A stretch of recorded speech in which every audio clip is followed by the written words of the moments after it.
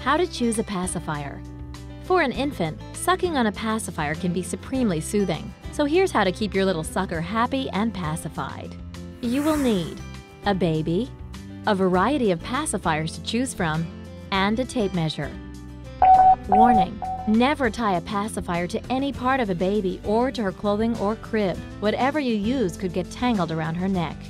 Step 1. Choose the right pacifier for your baby's age. Pacifiers come in three sizes those for babies 6 months and younger, for babies from 6 to 18 months, and for babies over 18 months old. A baby's drive to suck is especially intense between 2 and 4 months, so this is a good time to present a pacifier. Step 2.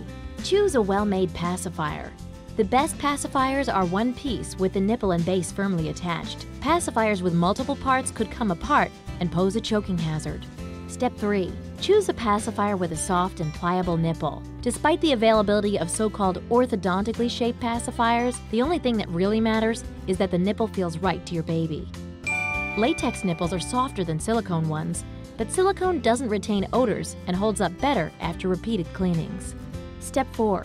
Choose a pacifier with a wide shield. That's the part of the base that presses against the outside of the baby's mouth. It should be at least an inch and a half wide. Any narrower and it could fit inside a baby's mouth.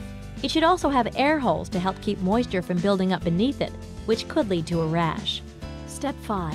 Choose a brightly colored pacifier. They're easier to find for both the baby, who may wake and look for it during nap time, and for you, when you're trying to locate it under the sofa or dig it out of the depths of a diaper bag. Step 6. Choose a pacifier that's dishwasher safe. Pacifiers mysteriously disappear all the time. So when you find the right one for your baby, don't hesitate. Stock up on it. Step 7. Lastly, but most importantly, choose a pacifier your baby likes. Offer her several different models to choose from. She'll know what she likes and spit out the rest. Did you know in Britain, Australia, and New Zealand, pacifiers are called dummies, while in Canada, they're called soothers?